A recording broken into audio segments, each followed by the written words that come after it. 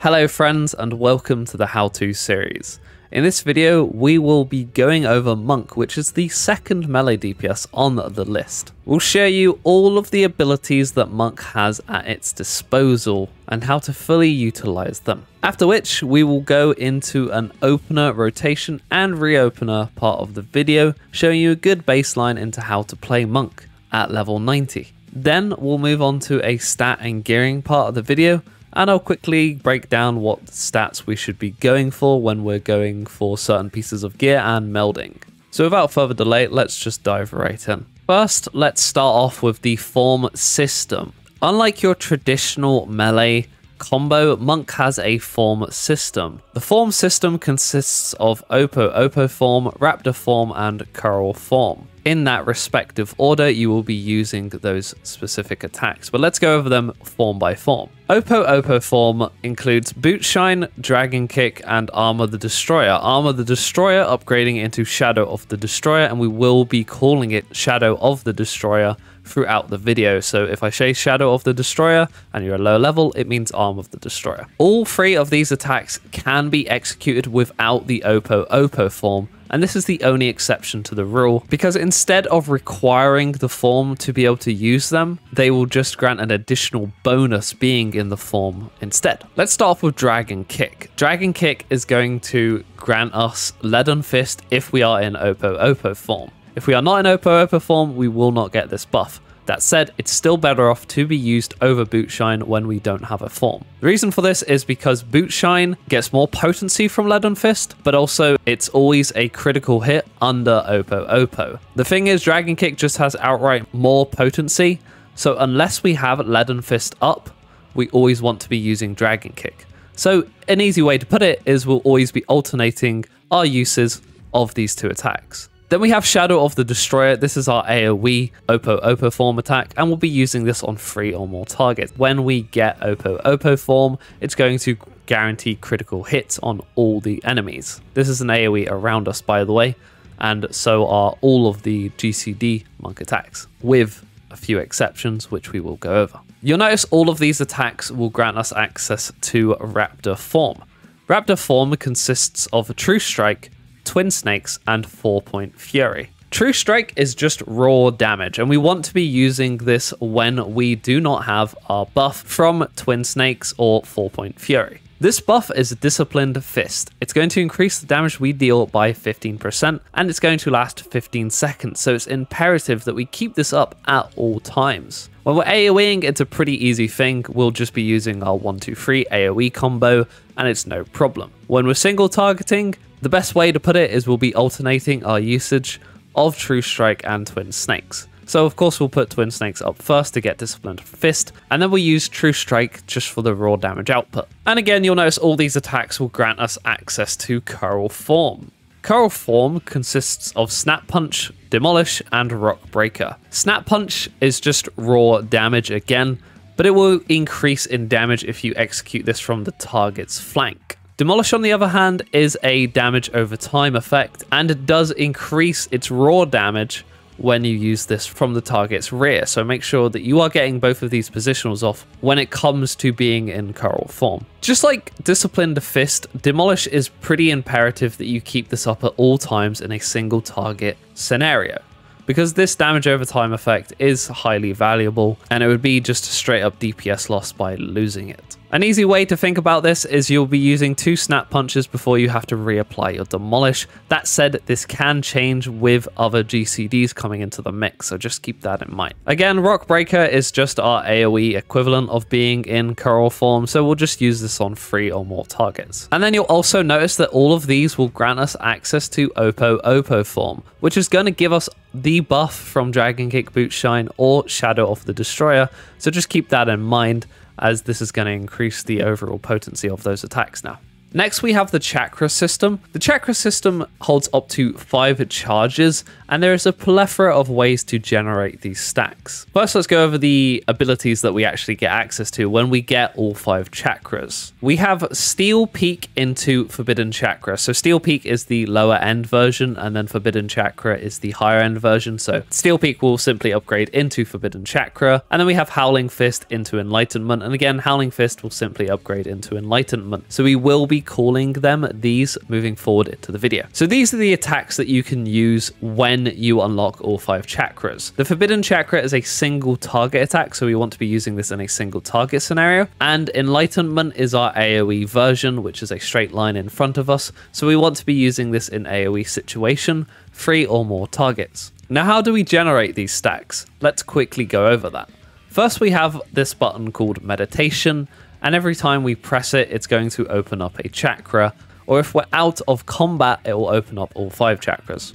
Ideally, you do not want to be using this in combat unless you're in a raid or trial instance and the boss disengages you or becomes untargetable, then you may as well open up some chakras in your downtime. You'll of course want to use it before every pull and boss fight in dungeons, so you instantly get 5 chakras, and you also want to be using this before a tank pulls the boss in a raid or trial instance, so we have instantly 5 chakras going into the fight. There are a few other ways to open up chakras, and we will go over a few of the ways now and a few of the ways later. It will make sense when we go over the later parts. The first way is critical hits.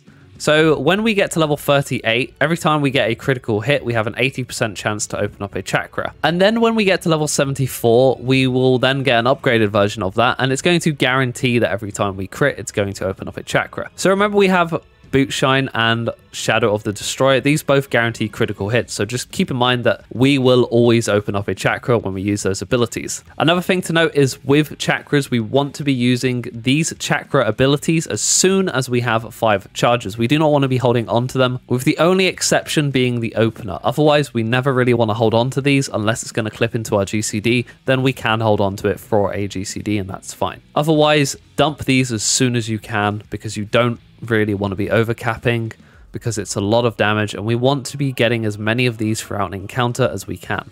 Before we get onto the real niftiness of Monk, let's go over Form Shift and a few off globals that Monk has. First, Form Shift. This is on the global cooldown, so a bit like Meditation, we won't be using this when the boss is targetable or there's something to hit at the time. That said, it's really good as it grants us Formless Fist. Formless Fist allows us to execute any of the form attacks and get the full benefit from them. So if we were to use Dragon Kick, for instance, we would get our Leaden Fist straight away rather than having to wait until the next Dragon Kick. So ideally, before we open any fight or any dungeon pool, we want to be using Form Shift so we're getting the full benefit from our attacks. Next, we have Anatman. Now, I have to cover this, unfortunately. It is not that great. What it does is extends the duration of our disciplined fist and our form shift or current form at the time. This can be situationally good, but for the most part, it's not that great.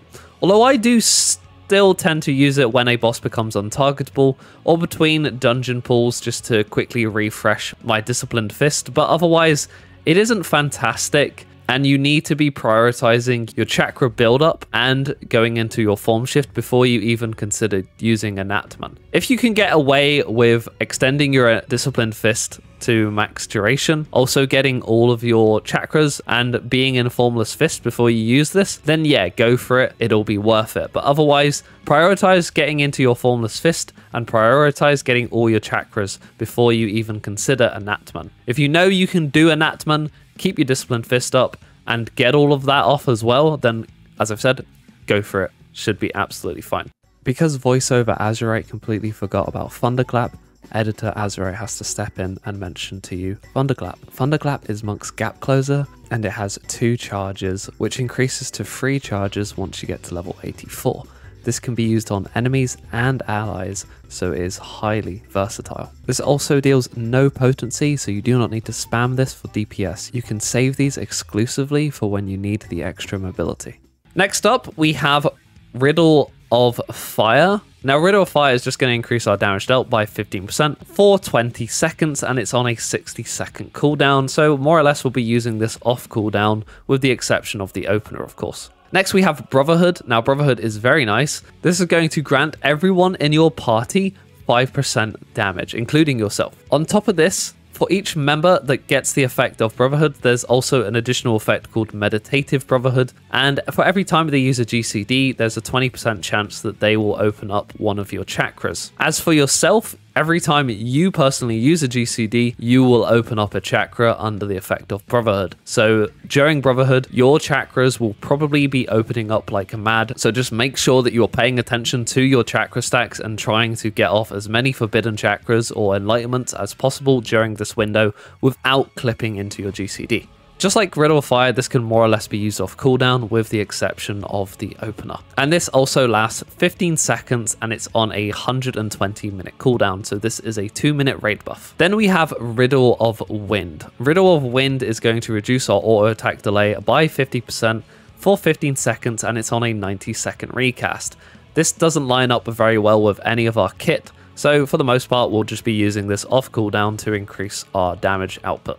Let's quickly go over Monk's individual utility as well. So we have Mantra and Riddle of Earth. Mantra is going to increase the healing everyone in your party receives, including yourself, by 10%. And this is going to last 15 seconds and it's on a 90 second cooldown. So this is highly valuable to use before big raid-wide damage is going to come out because it's going to help your healers out a considerable amount. Then we have Riddle of Earth, probably the most nuts personal MIT any DPS has in the game. Every time we use Riddle of Earth, it will grant us three stacks of Riddle of Earth. Each of these stacks will reduce damage taken by 20%. Do note this doesn't mean it's going to reduce damage taken by 60%. It's always a static 20%. But for each GCD that we use under the effect of Riddle of Earth, it will take a stack away. So this buff lasts three of our personal GCDs, and once we've used three GCDs, we'll lose the effect. But this also has three charges, and it's on a 30 second cooldown, so you basically have nine charges of this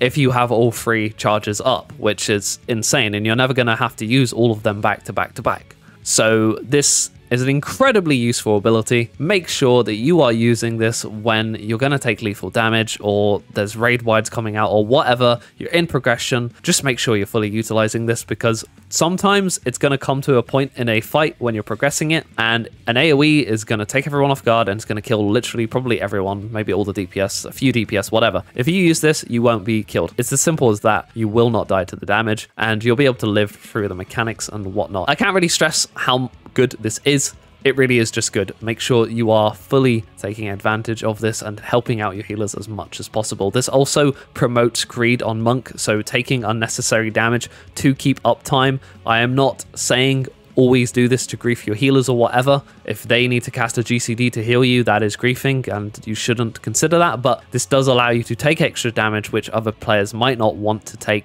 and still live through the damage by healing yourself via other actions and all that other stuff. So just keep that in mind.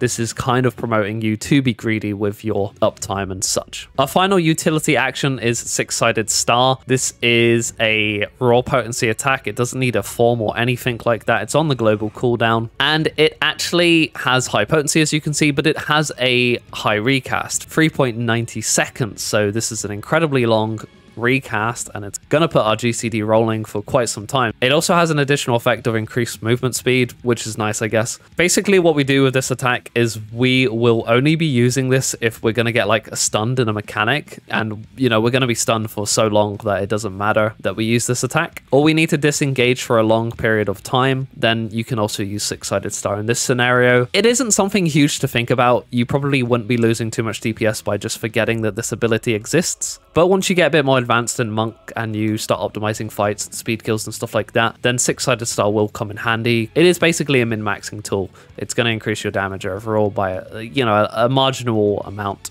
Not too big, but again, it is nice to min-max with this and just practice with it. Again, you don't have to use it, you can ignore it. I'm not telling you to ignore it, but if you don't fully understand the usage of it, it's not a huge loss by not using this. Again, I'm not promoting you to not use your kit, but I'm just telling you it's not massive. And finally, let's talk about perfect balance and the master's gauge. First, let's talk about Perfect Balance real quick. Perfect Balance has a cooldown of 40 seconds and it is on two charges. Whenever we use this ability, it grants us 3 stacks of Perfect Balance, and this will allow us to execute any Oppo Oppo, Coeurl, or Raptor form attack and getting the full benefits from those attacks. That's what Perfect Balance does at a core level. Once we get to level 60 low, we get Enhanced Perfect Balance and we also get access to Masterful Blitz. This is where things get a little bit more complicated. But don't worry, I'm going to make it simple. Basically, in the Master's Gauge, we're going to collect free stickers. Every time we use an Oppo Oppo attack, a Coeurl form attack, or a Raptor form attack, it's going to collect a sticker and add that to our Master's Gauge. Oppo Oppo attacks will share the same sticker. Coeurl form attacks, again, will share the same sticker. And Raptor form attacks, again, are going to share the same sticker. So you can mix the stickers up or you can have three of the same stickers. And that is honestly the way to go. You always want three unique stickers or three of the same stickers. You never want two of the same stickers and then one unique one, which leads me on to the actual point of why we're doing that in that particular way. That is because for every time we collect free stickers, Masterful Blitz will unlock, and it's going to grant us access to Elixir Field, Flint Strike, and Celestial Revolution. Now, Flint Strike gets upgraded into Rising Phoenix once we hit 86, so I will be calling it that moving forward. So now that we've gone over all the Masterful Blitz attacks, let's break each one down. Elixir Field is an AoE around us, and this requires three of the same sticker. This deals high potency, so we do want to be aiming to use this. Flint Strike slash Rising Phoenix is again an AoE around us, and again this deals high damage. This Masterful Blitz attack requires three unique stickers to be able to use it. And again, we want to be also aiming for this one. There's a reason why we want to be aiming for two of these, by the way, and I'll go into that in just a moment. Finally, we have Celestial Revolution, and you'll see that this is actually a single target, but it's less potency than both Elixir Field, Flint Strike, Rising Phoenix. So that is exactly why we do not want to do Celestial Revolution. Celestial Revolution is our two stickers of the same and then one unique. This is more or less a consolation prize for messing up because at least it's going to execute our Masterful Blitz attack, which is highly important. I'll go into that in just a moment. But for the most part, we want to be aiming not to be using this. Now you'll notice when we go over Elixir Field, Flint Strike Rising Phoenix, and Celestial Revolution, it's actually going to open a Nadi. Now a Nadi is another sticker next to our master gauge, and these again are stickers, but they need to be two different types of stickers. When we use Elixir Field, we will get the Lunar Nadi, and when we use Rising Phoenix, we will get the Solar Nadi. On top of that, Celestial Revolution is going to grant us either of the Nadis, depending on the one that we are missing.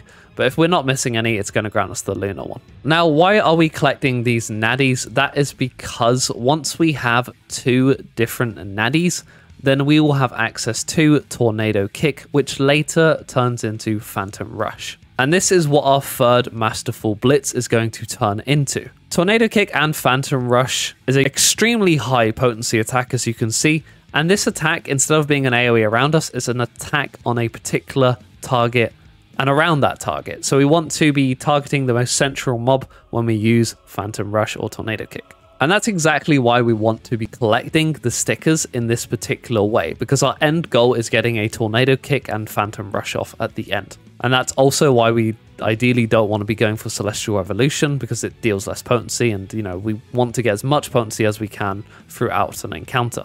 So hopefully that's made sense. To put it into simple perspective, when you use perfect balance, you want to collect first three of the same or three unique, and then obviously if you did three of the same, then do three unique stickers this time. And then once you've done both of those, you've done your Rising Phoenix, you've done your Elixir Field, your next Masterful Blitz is going to be a Tornado Kick or Phantom Rush. And that's exactly why we're collecting the stickers in this particular way, because that is the end goal to get the higher potency attack in the end. And then once we've done Tornado Kick or Phantom Rush, we'll then begin anew and we will then move towards getting that Phantom Rush again. You'll also notice that every time we use an attack under Masterful Blitz, these Masterful Blitz special attacks, they will grant us access to Formless Fist. So every time we finish using a Masterful Blitz attack, that means we can then execute any of our form attacks and get the full benefit of them, just like with form shift.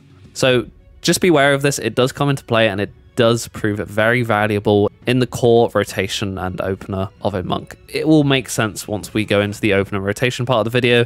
You'll see exactly what I'm talking about when I'm using these abilities. Okay, let's finish off the ability section with our cross-role actions. First we have Second Wind, this is on a 120 second cooldown, and it's going to simply heal us for 500 key potency. This scales with our main stat, so it becomes stronger the stronger we get. This is good to be used on lethal damage, or it's good to be used if we're low and we need to top ourselves up, or damage is going to be really high and the healers need some help with healing, then use Second Wind, it's going to help your healers out. Then we have Leg Sweep. This is on a 40 second cooldown. It stuns the target, and that stun is going to last 3 seconds. For the most part, rely on your tank to stun, but in a dungeon pool or something and a mob is doing an AoE around it, you can use Leg Sweep to stun that mob and keep up time. Then we have Bloodbath. This is on a 90 second cooldown. It lasts 20 seconds, and for every attack that we use under Bloodbath, it's going to convert that into HP which again, just like Second Wind, is a nice little bonus for healing ourselves and topping ourselves back up. This is nice sustain, so make sure we're using this when we need to heal ourselves back up or our healers want us to use our bloodbaths at particular moments throughout an encounter. Then we have Feint, our big raid utility. This is only 90 second cooldown. It lasts 10 seconds, and this is going to lower the target's physical damage dealt by 10% and their magic damage dealt by 5%. Ideally, use this on raid wides and raid busters because it now reduces magic damage dealt by 5%. This is more or less a lot more helpful for your healers when it comes to raid wides, rather than having this for your tank on tank busters like we used to do back in the day. Because honestly, tanks have the tools to cover themselves for tank busters nowadays, and they really do not need the help of Feint. So don't worry about that. Pretty much use Feint exclusively raid wides and raid busters, and don't worry too much about your tanks, as they'll be absolutely fine. Then we have Arm's Length. This is on a 120 second cooldown, and it's going to last 6 seconds. This is going to give us an anti-knockback. So if an enemy is going to do a knockback attack, and we don't want to get knocked back, and we want to keep uptime, then use arm's length and nullify that knockback completely. We then have True North. This is on a 45 second cooldown. It has two charges and it lasts 10 seconds. This is going to nullify all action direction requirements. So what this means is when we, for some reason, cannot get our snap punch or demolish positional, then use True North, and this is going to nullify the damage loss that we would have got if we didn't hit that positional. So use this when the boss is spinning or whatever the boss is going to spin. Just make sure that we know when to use this so we are not missing out on any damage from positionals. Alright, that should just about cover every single ability that Monk has at its disposal, and a nice little breakdown of how to be using those abilities and how to understand the kit. Now let's move on to the opener and rotation and reopener part of the video. Okay, let's go over the opener, rotation, and reopener. So the opener that we're going to be using here is the Solar and Lunar Nadi opener. This is the easiest opener to pull off, the easiest rotation to pull off, and it is a very good baseline to start as a monk player. It's going to get you through any high-end content, and you're also going to be playing optimally with this opener rotation. That said, when you're a bit more comfortable playing monk and you want to up your game and take it to the next level, there are resources, and I will provide those resources for different openers and rotations. I'm not going to cover them all because this video would stretch out way too long if I did. So I'm going to show you a really good baseline, and if you would like those resources, they will be in the description below. With that said, let's just begin. So first off, we're going to obviously use our meditate and we're going to get our 5 chakra. Then we're also going to use a form shift, so we're ready to use Dragon Kick straight off the bat. Now, I don't use potion here, and there are decisions you can make here. You can either use the potion in the opener, which is easy, simple stuff, or you can use it in the reopener. I don't use potion in either point, but I'll try and point out where you would use your potion in the opener and reopener. So in this instance, I'm going to let the footage play. You'll notice that we do not use Brotherhood, Riddle Fire, and our Chakra straight away because we want to line these up and this is only in the case of the opener. So we use Dragon Kick here. And as soon as we've done that, we're going to then potion if we wanted to potion. The reason for this is because as soon as we use Twin Snakes, we then use Riddle of Fire, so we couldn't have used our potion there. So that's why we would want to use that as our first GCD. We would do our first GCD and then use potion. Anyway, I'm going to let the footage play out and you can pay attention to how this is going. Then I'm going to break down a few things afterwards.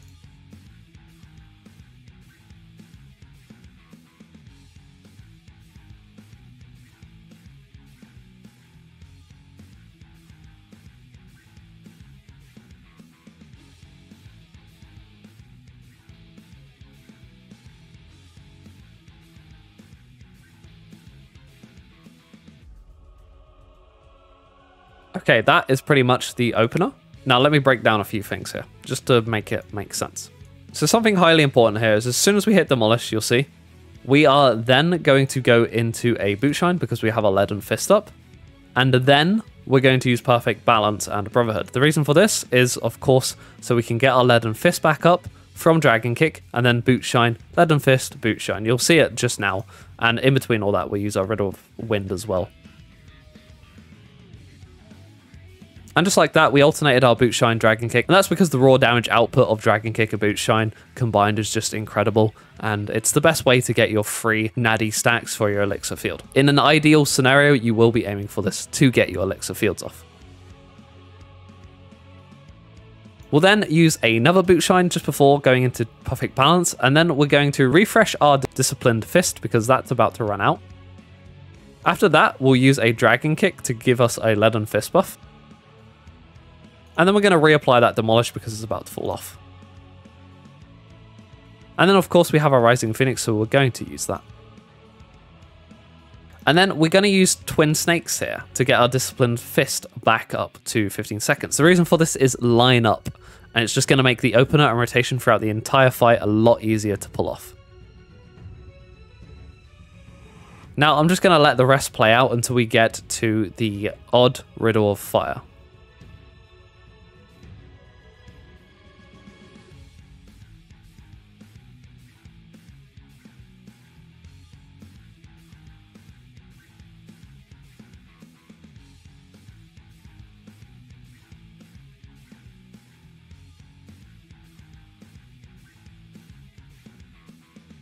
Now you notice that it's six seconds off. We're just going to do one more rotation here. And then we're going to pop Riddle Fire, and then we're going to go into Boot Shine, and then we're going to go into Perfect Balance, and we're going to go Dragon Kick, Boot Shine, Dragon Kick, and you'll, you'll see what I mean.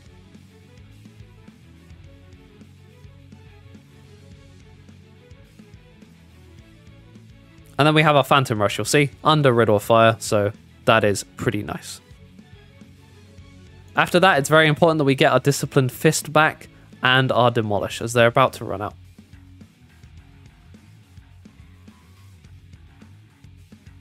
And that's the second reopener. Pretty easy that one to pull off.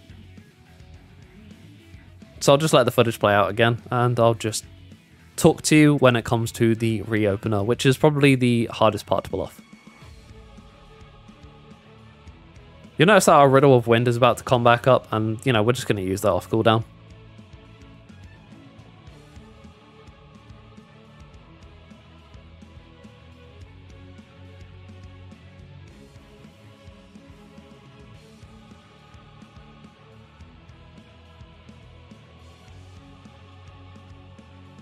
Okay, you'll notice that our Riddle Fire is very close to being off cooldown. You'll see that we used a Dragon Kick and then we moved on to Leaden Fist here. Then we're going to use our Twin Snake to get our Disciplined Fist up. And just before we use Demolish, we're going to use our Riddle Fire. And then I'm just going to let the rest play out because it's going to make sense. Although, to mention, you'll notice that I did slightly clip the GCD here. I am getting slight lag and my GCD is not really in the right place, so that's why it is the way it is. But for the most part, you won't be suffering this and if you need to know the GCD, then it will be coming up in the stat and gearing part of the video.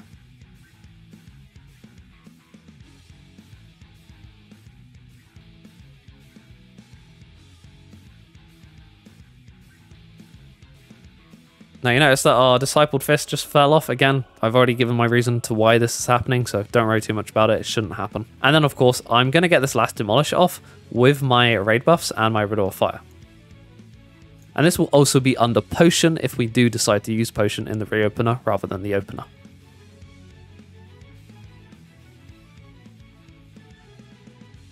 And then that's it. That's pretty much the whole thing. After that, it's just played off like you've been doing the rotation so far. So you're just going to go about your day, keeping your Demolish up, keeping your Twin Snakes up, your Discipled Fist even, and it's going to be fine. You're going to be absolutely fine.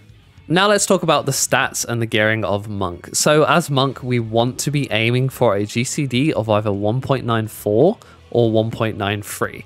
If you're like me, you have bad connection or maybe you stream, then 1.93 is probably the way to go because it's going to alleviate a lot of the pain from clipping into your GCD and just missing your cooldowns and not getting your Discipled Fist up and your Demolish and all that bad stuff. You want to generally avoid that kind of stuff. So personally, I'm going for that GCD, the 1.93. Although in most of my footage, I went 1.94 to try it out, but it honestly doesn't work for me. So yeah, if you have bad ping like me, go for 1.93. If you live next to the servers, go for 1.94. After we have met that skill speed threshold, we will then be prioritizing critical hit because critical hit is king and it will be king for probably the foreseeable future. So you can't go wrong with putting in crit. Once you've met that threshold of skill speed, put in as much crit as you possibly can. Once you've gotten as much crit as you can and maybe your piece doesn't want to accept any more crit, then put determination in. If you can't put any more crit, any more determination, then put in direct hit. And that is how your stats should look. So you want to prioritize skill speed to your certain threshold, then get as much crit as possible. If you can't get any more crit in, go determination. And then if you can't get any more determination in, then go for direct hit. And that, my friends, is how to monk at a baseline level. And when I say baseline, don't think I mean bad level or anything. Baseline is very good, and you will be playing the job at an optimal level as well. That said, when you've learnt monk a bit more and you're more comfortable with fights, you will learn to optimize specific fights at a higher level, and that will be down to you as a player on a fight per fight basis. So don't worry about that too much. Once you get better at the job and more comfortable with its kit, you will learn to do this stuff by yourself. So do not worry about that. Also, how do I feel about Monk? I really, really do like the job. I'll be honest. It's it's a fun job. It's busy and it's frustrating and stressful, but it's fun. I really do enjoy it. And if you want the kind of challenge and the min-maxing potential that Monk has, then play Monk. It's a really good job. It brings a lot to the table, has a lot of utility, does a lot of good personal damage. You can't go wrong by playing a Monk. So if you want to play a monk, play a monk. Absolutely no problem. And I've had a blast with it. If you've made it all the way to the end, then I really do appreciate your time. And if you did enjoy the video, then please do hit that thumbs up button. If you're not subscribed yet, then I really would love you hitting that subscribe button as well, as that would mean a lot to myself and the channel. If you think I've missed anything, or you can provide any feedback, or just let me know genuinely how you feel about Monk, then do leave it in the comments below. I'd love to hear your thoughts. If you would like to go above and beyond for my channel, then you can check out the social links in the description below. There is a Discord, a Twitter, and a Twitch, and I'm going to leave it at that. So if you are interested in checking me out further, go to the links provided and have a look for yourself. And with all that said and done, I will end it here. Again, thank you so much for watching, and I shall see you guys in the next one. Take it easy, stay safe, we out. Goodbye.